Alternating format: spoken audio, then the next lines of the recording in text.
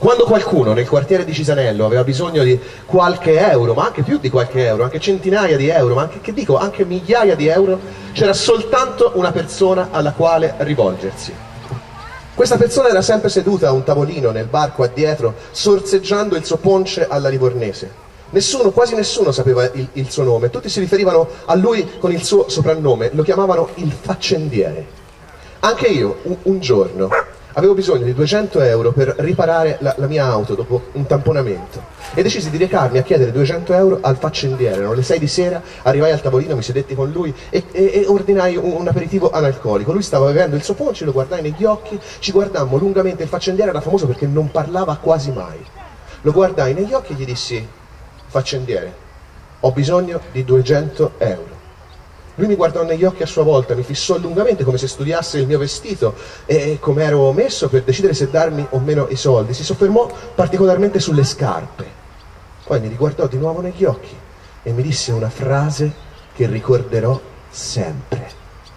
Allora, siamo al um, futuro parco di Cisanello, almeno così noi speriamo, per una, una, serata di festa, festa spontanea e popolare, per far conoscere alle persone del quartiere, di tutta la città, questa bellissima area che è nel cuore, nel cuore di Pisa, nel cuore di uno dei quartieri più, più abitati e che in pochi conoscono. È un'area da molti anni abbandonati, un tempo c'erano campi, adesso non c'è più nulla è abbandonata in attesa di previsioni urbanistiche, prima la nuova sede della provincia, poi forse lo spostamento dell'area del complesso del concetto Marchesi, altre cose ancora che mai si realizzano e mai forse si realizzeranno. Allora, secondo quanto diceva anche il piano strutturale, un piano fondamentale della città, riprendere in mano la previsione di parco urbano. Pisa ne ha bisogno, e, e, è possibile, è possibile perché ancora non è stato fatto nulla, l'area è completamente verde, tra l'altro nel frattempo ci sono, ci sono cresciute eh, una flora una fauna molto particolari, quindi è una vera oasi nel cuore della città.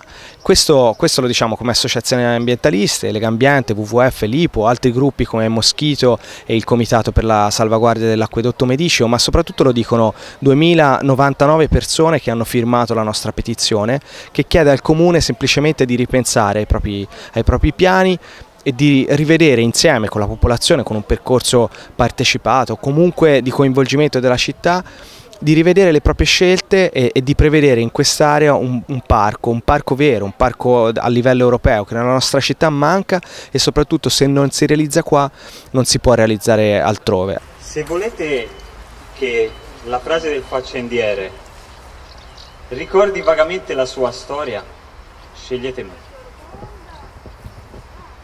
Se volete che il faccendiere mi dica t'hanno cato sulla scarpa, scegliete me. Vostro voto? Eh, negli ultimissimi mesi si è creato un'attenzione particolare eh, per chiedere mm, che nel quartiere di Cisanello così mh, mm, trafficato, popolato, esista finalmente un parco per ehm, gli abitanti di tutte le età, che sia fruibile, che sia uh, uno spazio di, di, svago, di libertà, di socialità, eh, che sono ingredienti essenziali per la vita di una città. E quindi eh, accanto a tanti altri servizi che diciamo, può offrire l'aria, è veramente necessario che il verde abbia la sua attenzione e speriamo che eh, davvero ci sia un dialogo con le amministrazioni perché sia ritenuta veramente un'occasione eh, per migliorare la città. Ecco.